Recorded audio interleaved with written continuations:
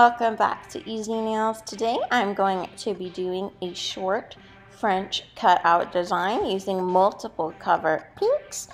Um, this is the first time I've really tried to do French cutout design. I did it without a tip cutter and I'm showing you guys all the different cover pinks I'm using. I have some Sierra Robles, um, Not Polish Nude, Candy Cover pink and I am using the candy covered snow to fill in that thing. So I'm basically doing different colored cover pinks and nudes and then I'm doing the cutout by hand and we're gonna see how it goes. So I'm showing you guys all the different products that I will be using. I already applied the pink base and I'm gonna show you guys how to file off that white. So you guys can see I made it kind of risen and that's the key to file off the acrylic to get the perfect French nail.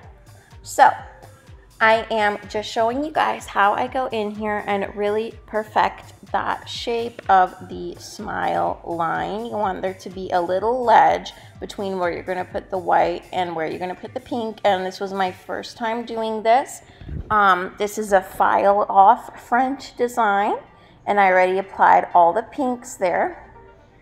And now I'm going in with the um, Candy Cover Snow. This is by S&M Nail Candy. I'm using a brush here and um, S&M Nail Candy Irresistible Sweets Monomer. So I am putting this basically on top of the pink and the goal here is just to ensure that you fill in the areas really well. Um, don't worry if it gets over the nail because we are going to be filing it off. So you just want to make sure that you get you fill in the areas really well, the side walls especially. Um, I didn't fill it in enough and I had to go over it. So make sure that you make sure you add a lot, a lot, a lot of white, especially in those side walls. and don't worry if it's messy. That is the whole point of this file off method that you can just file over the pink area and the white is going to file right off. So again, just apply the white um, over the pink and make sure you fill in that the lowered area as much as you can. I hope I'm making sense here. Um, this one I tried to like go around the edge. I was just testing out different methods um, I do find that it was easier just to do the file off, but make sure you pile on that white, especially on the side so that you will not file off too much. So you want to make sure you really pile on that white to fill in that little ledge that you have there. So that is what I'm doing. I'm going in, piling on the white, or um, you can go over the pink area. Don't worry if it's not perfect as long as you have a lot, a lot of white in there, that's what's important. And I'm going to continue doing this throughout the other nails.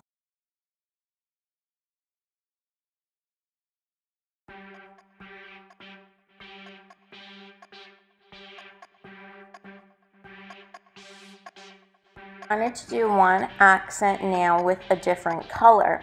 So I chose this Lovely Claws eggplant. I got this from my nail swap box with Rachel's Nail Glam. Make sure to go and check her out. So this is like a really deep, dark purple. Um, it's really, really pretty. And I did the same method on this one. Just went over it and we are going to file off anything that goes over that pink after. So you can really do this with any color. I am going to go over this with a glitter. So I'm going to show you guys that in a minute. So we're going to do a glitter French. But the most important thing at this step is just to fill it in. Now you can either fill it in like this or you can go over it like I did with the white and then you're to file it off. Either way. So I'm to let you guys keep on watching this.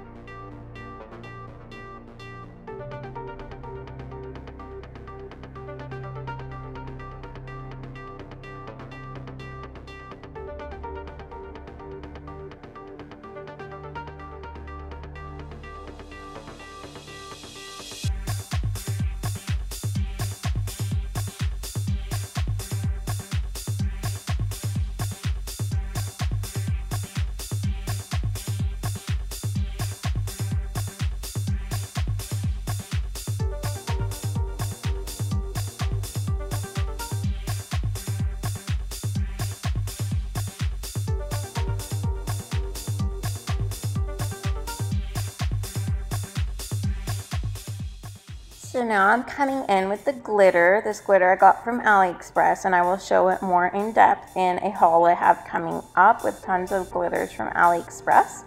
So what you want to do is, this one I um, decided to just fill it in and after you fill it in, you can either go in and file off anything that got over it and then you're going to want to go over it with a little bit of clear and then that is what is going to adhere these um, glitters to it.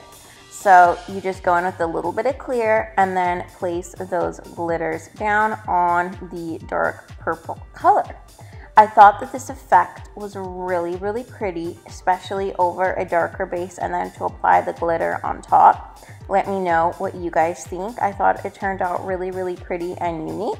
So again, I'm picking up some clear and using that as a base to adhere these glitters and darkening in any areas here that I see fit.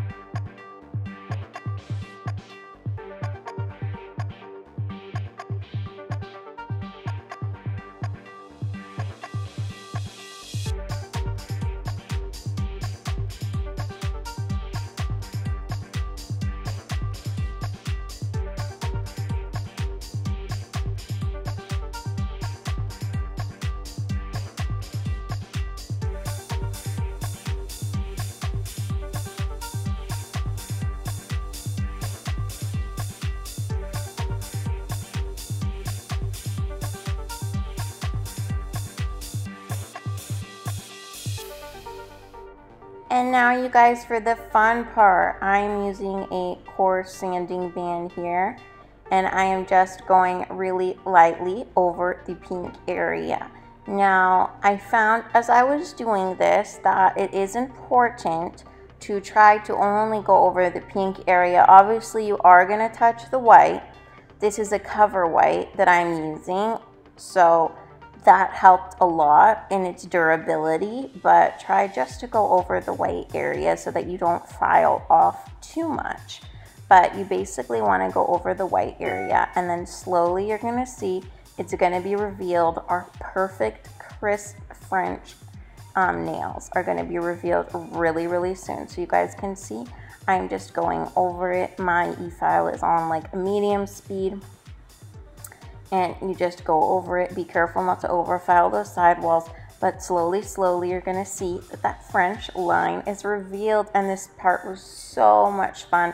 I'm sorry, I don't know why it was shaky here, maybe because my hand was resting on the, um, the air cleaning vent, the dust collector, so it was a little shaky, but you guys are gonna see here slowly and slowly, just take your time with it. Um, um, for just from doing these nails, I figured out not to hold the e-file in one place for too long. Um, you never want to do that anyway because it'll overheat, but that would just take off too much of the white. So just do it really, really gently, slowly, and you guys can see how that perfect French is being revealed.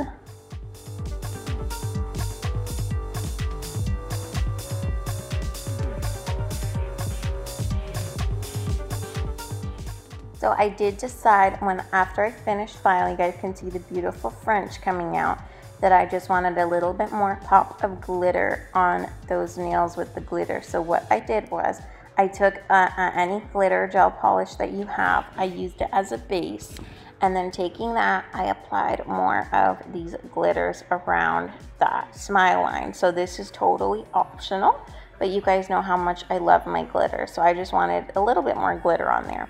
You guys can also use a clear, um, anything you want just to adhere some more glitters around that smile line.